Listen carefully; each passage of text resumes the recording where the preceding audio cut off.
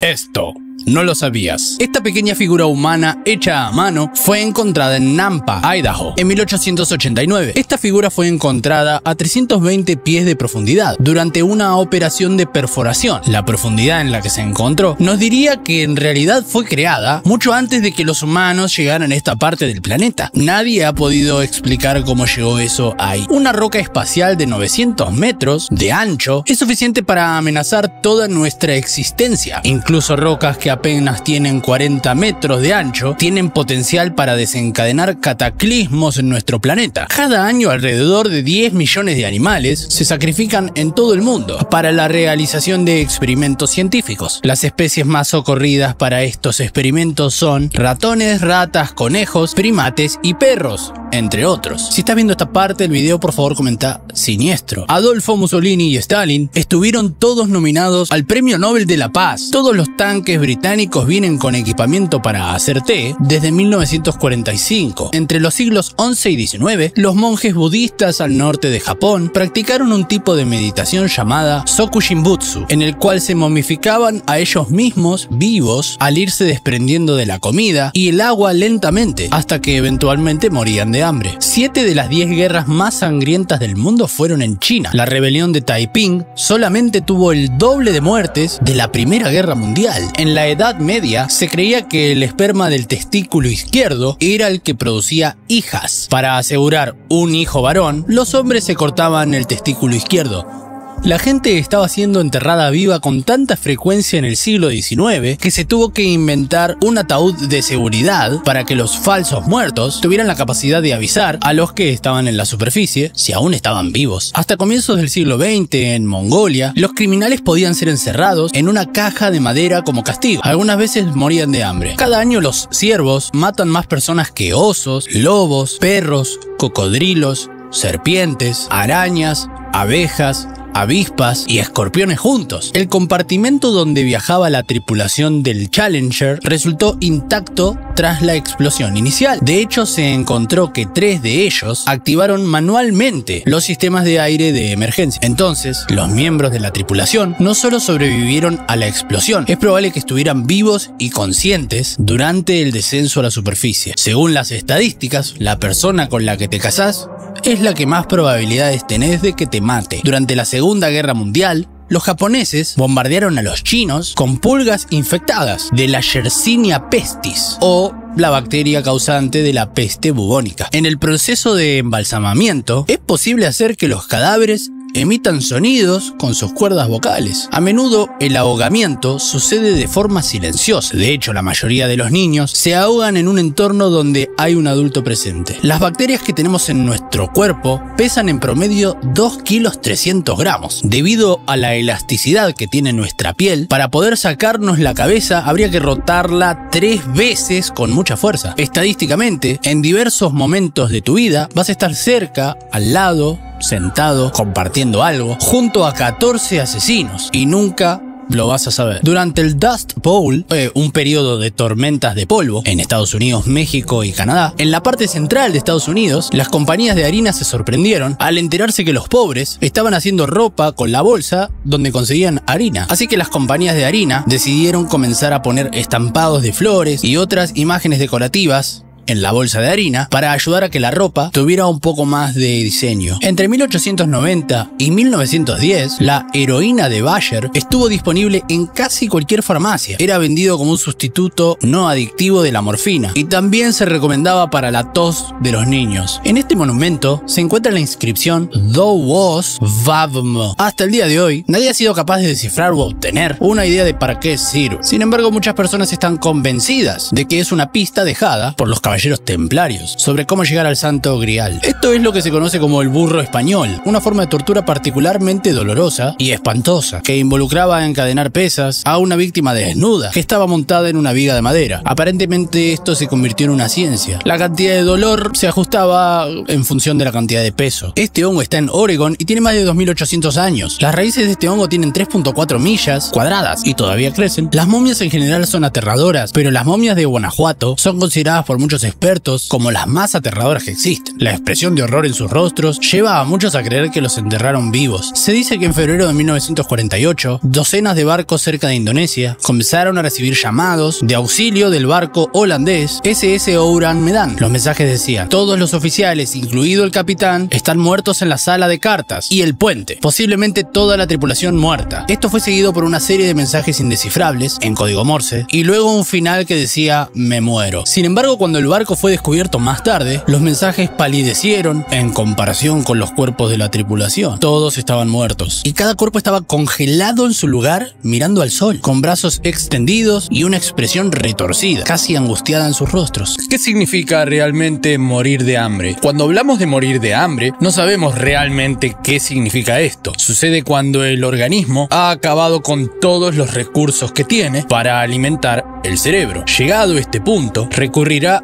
a los órganos vitales y músculos hasta que solamente quede el corazón. Teniendo en cuenta esto, morir de hambre significa comerse a uno mismo por dentro. La memoria engaña. Cada vez que rememoramos un recuerdo agradable, nuestra memoria lo reescribe. ¿Qué quiere decir esto? Que cada vez que pensamos en ese suceso en concreto, añadimos detalles a lo que realmente pasó. Por lo tanto, con el paso del tiempo y acumulando rememoraciones, el recuerdo no se parecerá prácticamente en nada a lo que realmente sucedió. ¿Tenés síntomas de rabia? Estás muerto. La rabia está considerada enfermedad vírica más grave del mundo, la cual se transmite a los humanos por la saliva, a través de mordeduras de animales infectados. En países europeos, por ejemplo, el riesgo es casi inexistente, pero en algunos países del mundo, la rabia continúa siendo una enfermedad relativamente común. No existe tratamiento y en cuanto se presentan los primeros síntomas, la probabilidad de fallecer es de más del 90%. Si estás viendo esta parte del video, por favor comenta perturbador. Estos animales no pueden vomitar. Las ratas tienen un sistema digestivo bastante peculiar, que hace que para ellas sea imposible vomitar. No tienen ese reflejo. Y esto explica por qué los venenos resultan tan efectivos. Cuando ingieren una sustancia nociva,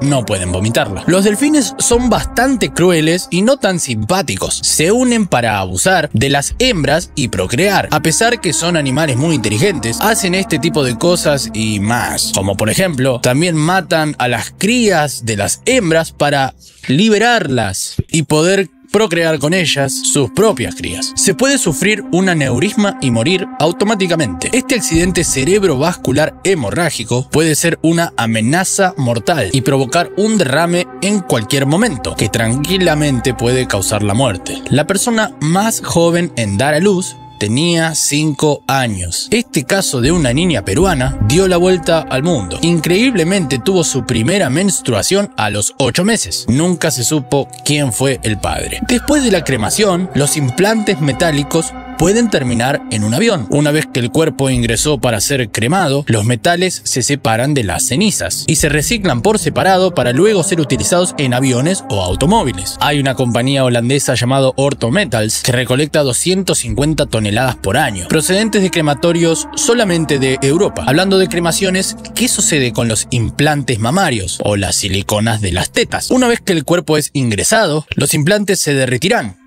y se convertirán en una masa que termina trabada al final de la máquina cremadora. Una youtuber llamada Ask Mortician, o pregúntale a Morticia o Morticia responde, dijo lo siguiente. Normalmente los trabajadores dicen no te preocupes, no es gran cosa. Lo que significa no te preocupes, rasparemos la silicona de la máquina. El jefe de la tribu Zulu pidió duelo a toda su tribu por el fallecimiento de su madre. Quienes no mostraban tristeza fueron ejecutados. Shaka Zulu nombró a su madre, Nandi, madre de la nación, y tras su partida en 1827 obligó a su pueblo a mantener duelo, prohibiendo plantar los campos, a sacrificar vacas para que los terneros sintieran la pérdida de una madre. Aquellas mujeres que quedaban embarazadas sufrirían la misma pena junto a sus esposos, al igual que cualquiera que no mostrara suficiente pena por Nandi. Existía una forma de tortura llamada lengua de cabra, que involucraba pies salados y una cabra. Los pies de una persona eran remojados en agua con sal y luego una cabra los lamía. Estas tiernas cabritas tienen unas lenguas muy ásperas y la piel luego de ser remojada en agua con sal quedaba muy blanda. Ustedes pueden imaginar el resto. Un piloto le apostó a otro que podría aterrizar su aeronave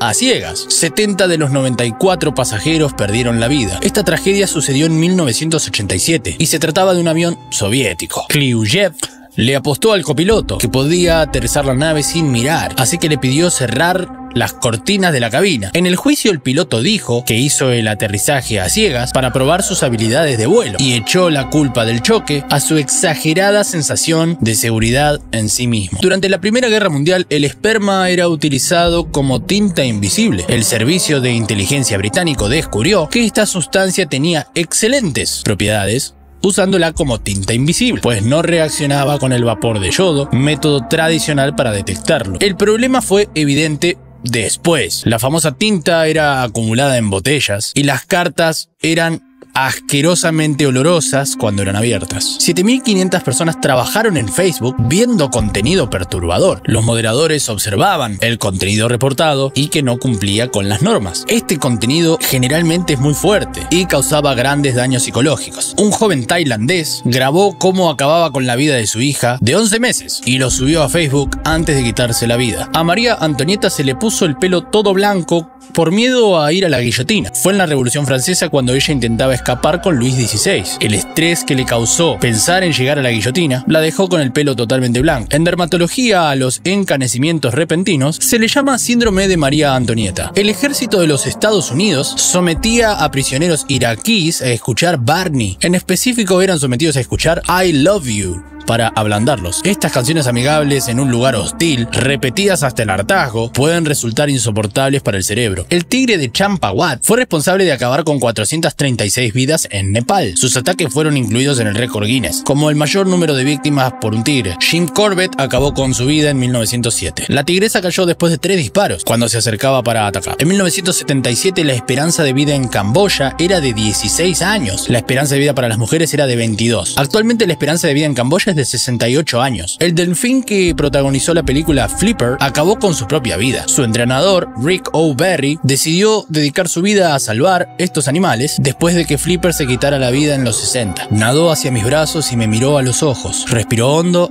y no tomó otro. La dejé ir y se dejó caer sobre su vientre hasta el fondo del tanque. Los delfines toman esfuerzo consciente durante cada respiración. Estudios recientes demuestran que muchas asesinas seriales trabajan en profesiones para mujeres, tales como enfermeras o profesoras. Esta opción les otorga el fácil acceso a sus víctimas sin despertar sospechas. Las asesinas en serie mujeres son más difíciles de atrapar que los asesinos en serie hombres. Las asesinas en serie suelen conocer muy bien a sus víctimas. Mientras la mayoría de los asesinos matan a desconocidos, las asesinas en serie tienen la tendencia de matar familiares, amigos o conocidos. La mayoría de las mujeres que están en prisión es a causa de asesinar al esposo, al hijo o al novio. El veneno es el arma favorita utilizada por las mujeres asesinas. No se tiene el número exacto de asesinos en serie, pero entre el año 1800 y el año 2000 hubo 46 asesinas en serie, identificadas solamente en Estados Unidos. La descripción más vista por las autoridades de una asesina en serie siempre es bastante común. Mujer joven, cristiana, clase media, casada y usualmente trabajadora de enfermería o en la educación. El 51% de las asesinas en serie asesina a otras mujeres. El 30% de las mujeres que asesinan a sus esposos también les cercenan el miembro reproductor.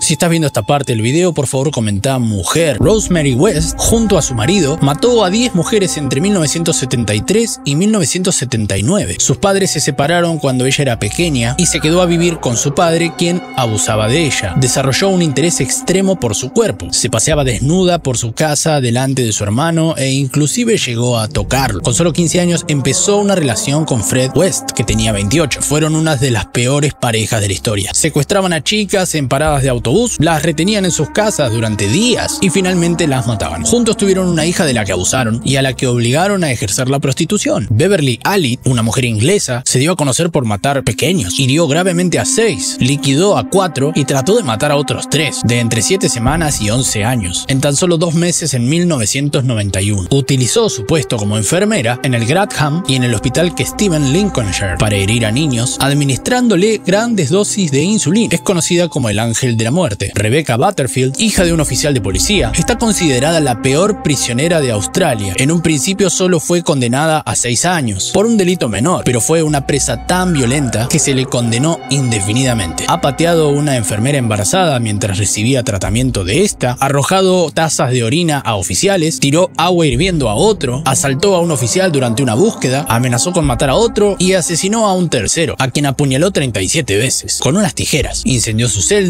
intentó matarse, está encerrada en una celda de aislamiento y la van intercambiando entre dos prisioneras para darle descanso a los guardias. René Akobi. Esta mujer se volvió malvada una vez que entró a prisión. Es conocida como la segunda peor criminal de Canadá. Es madre, poeta y tiene antecedentes familiares por violencia. Su padre mató a su madre cuando ella solo tenía 6 meses. En el 2000 entró por primera vez por tráfico de drogas, estando embarazada. Gracias a un programa especial de prisión, pudo mantener a su hija ahí con ella, pero fue sorprendida consumiendo drogas y le quitaron a la bebé. Después de esto se volvió loca. Trató de escapar con otra reclusa y fue en numerosas ocasiones por tomar rehenes y agredir personal de prisión. Catherine Birney y su marido mataron a cuatro mujeres y trataron de hacerlo con una quinta, que logró escapar y los delató. La madre de Catherine murió al dar a luz al hermano cuando Catherine tenía dos años. Su hermano murió unos días después. Su padre no la quería y la dejó con los abuelos, pero a los años volvió con él. Empezó a salir con David Birney cuando tenía 14 años. Se casó con otro hombre y tuvo varios hijos, pero cuando el mayor murió, se escapó para volver con el amor de su vida que era David.